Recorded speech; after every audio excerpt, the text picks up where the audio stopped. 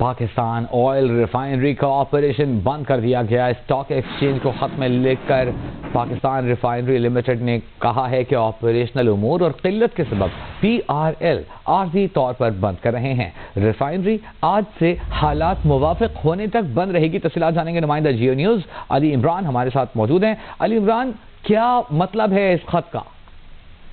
जी बुनियादी तौर पे फर्नेस ऑयल जो कि एलएनजी आने से पहले बिजली बनाने में इस्तेमाल होता था, लेकिन अब एलएनजी आने के सबब फर्नेस ऑयल जम लिया जाता है रिफाइनरी उसे जमा करती रहती है। और उसके बाद जितनी कैपेसिटी है ये कहना है पाकिस्तान रिफाइनरी का, अब वो भर चुकी है, वो मजीद तेल ज़ाया नहीं कर सकते, लिहाजा वो रिफाइनरी है, और ये पिछहत्तर लाख लीटर जोमिया तेल बनाती है, मुख्तलिफ़ प्रोडक्ट्स बनाती है। इसकी इसकी सलाहियत है। अगर 50 लाख लीटर भी बना रही है तो ये शॉर्टेज की जाती है मुल्क के दूर और में लेकिन एक सवाल किया जा सकता है कि फर्नेस ऑयल आप एक्सपोर्ट है, आप एक आप प्रॉफिट कमाते हैं। ये ज़रूरी नहीं है कि आपका फर्नेस ऑयल हर सूरत में पाकिस्तान के जो बिजली घर हैं, वो खरीदें। जी।